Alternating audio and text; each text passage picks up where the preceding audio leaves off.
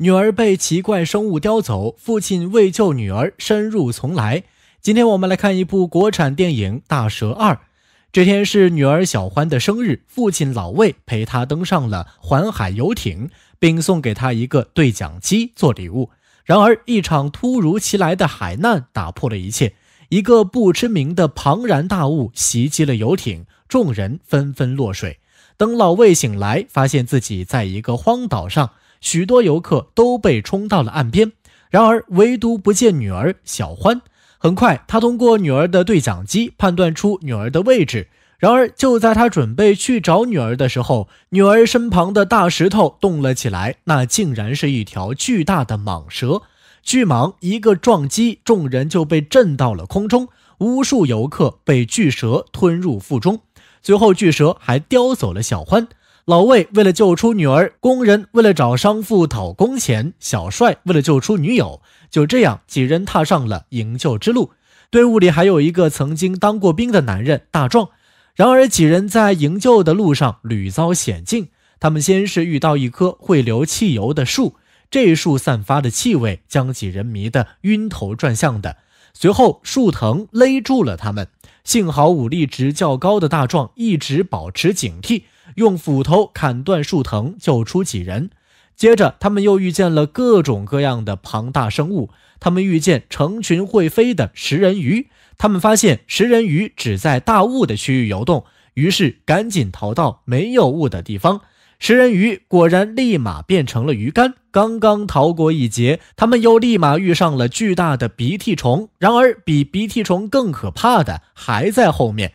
一根巨大的舌头当着他们的面卷走了鼻涕虫，随后一只巨大的癞蛤蟆跳了出来。几人见机不对，转头就跑。然而没跑两步，大蛤蟆就吸住了一个老头。危急时刻，大壮抛出树枝扎中蛤蟆的眼睛，蛤蟆吃痛放开老头，几人赶紧开溜。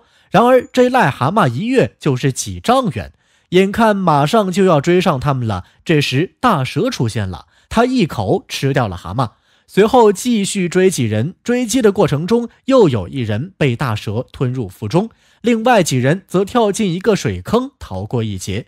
大蛇带着刚刚被吞的几人回到巢穴。在此之前，洞穴里的几人相继醒来。几个幸存者里面包括老魏的女儿小欢、小帅的女友小美以及拖欠工钱的富商。几人寻找出路的时候，在洞里发现了几枚蛇蛋。富商捡起石头，想在蛇蛋孵化前将它们毁了。谁知道小蛇竟然提前孵化了。几人趁小蛇吃下食物之后不能动弹，这才赶出来打死小蛇。眼见大蛇回来了，洞里的几人赶紧趴下装死。然而大蛇发现了被他们打死的小蛇，悲痛欲绝的大蛇以为是老魏他们干的，于是离开巢穴，疯狂返回，准备找老魏他们算账。看着大蛇离去，几人赶紧想办法出去。富商承诺，只要几人将他顶出洞口，他就会扔藤蔓下来救几人。然而几人将他顶上去之后，他却食言，独自逃走了。另一边，老魏几人发现了一个废弃的实验基地。原来岛上之所以会出现这么多巨大的生物，是因为有科学家在这里进行过实验，但是实验过程中样本都逃走了。最后，实验人员也都自食其果，全部丧命于此。他们利用科学家留下的物资，向陆地不断的发出求救信号。这时，他们撞见了逃出来的富商。富商为了不再返回蛇窝，骗他们说其他人都死了。听到这个消息，老魏痛不欲生。第二天，救援部队收到信号赶来了。然而，就在老魏放弃的时候，送给女儿的对讲机里突然传来了声音。老魏和小帅几人赶紧返回救人，富商则去寻找救援队的飞机。然而飞机还没有落地就被大蛇一口吞了。老魏这边根据小欢的指引来到蛇窝，此时洞里的蛇蛋已经全部孵化，小蛇四面汇聚向小欢他们游来。老魏赶紧放下藤蔓救他们。就在他拉俩人上来的时候，大蛇却突然回来了，并且准备攻击他。就在大蛇向他扑来的时候，大壮拿着斧头砍中了大蛇的一只眼睛，在小帅的里应外合下，又伤了大蛇的另外一只眼睛。老魏也抓紧时机将俩人救上来。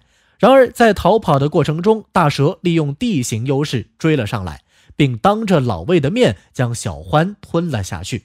身手矫健的大壮拿着火把将大蛇引开，他将大蛇引到了会流汽油的大树下。等大蛇浑身沾满汽油之后，他将火把扔向了大蛇，大蛇最后被熊熊火焰烧死。老魏从蛇嘴里将小欢捞出。在经过不懈的努力之后，小欢终于活了过来。而至于那个自私的富商，在逃跑的时候呢，不慎跌落蛇窝，最后成为了小蛇的晚餐。